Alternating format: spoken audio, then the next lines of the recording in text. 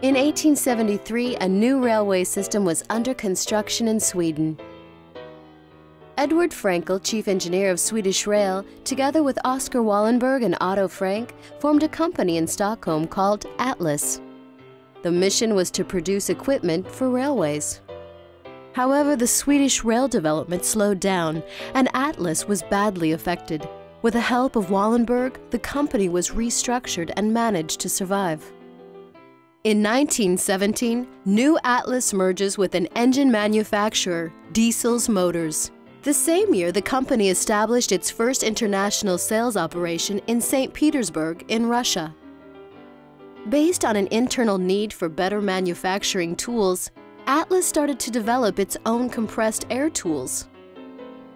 In 1936, the one-man machine was introduced. A single person could operate a light rock drilling machine. The Swedish method became a huge success and led to an international expansion where new sales companies opened all around the world.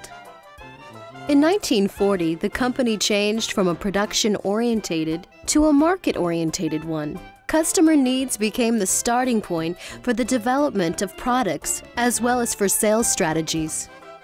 In 1956, Arpic Engineering was acquired. Arpic had 8,000 square meter production facility and 300 employees.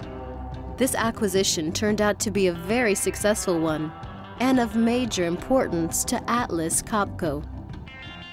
Following the acquisition of Arpic, the company's name was changed from Atlas Diesel to Atlas Copco. Copco came from the French words Compagnie Pneumatique Commerciale, in the 1960s, Atlas Copco began to modernize and expand its production plants. The compressor business developed rapidly as the oil-injected screw compressors became a big commercial success. With the launch of an innovative oil-free air compressor in 1967, many new opportunities opened up in, for example, the textile, food, and pharmaceutical industries. In 1987, US-based tool company Chicago Pneumatics CP was acquired. Through this and other acquisitions, customers were given a greater choice and more complete product offerings. Water for All was established in 1984 after two employees visited Peru. Devastated by the drought, they decided to help people in need of clean drinking water. Through voluntary employee donations, projects are implemented, drilling or digging for water.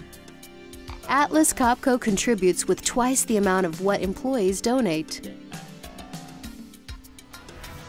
In the early 1990s, Atlas Copco established its vision to become and remain first in mind, first in choice.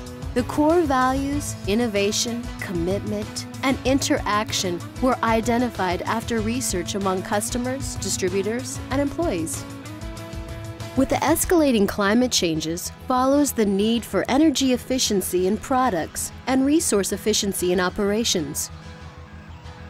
Atlas Copco continues to launch new innovative products to meet customer demands. Atlas Copco has only had 11 CEOs up to now. In 2009, Ronnie Leten became the second non-Swede to lead the Atlas Copco Group.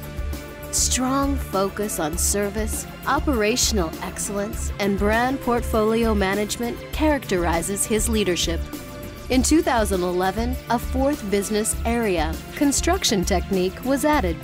Each business area has now a dedicated service division for professional customer support around the clock. About one third of all employees are working in the service business. Atlas Copco is recognized as one of the most innovative and sustainable companies in the world. With a solid structure in place and world-class people, we're ready to take off for the next 140 years.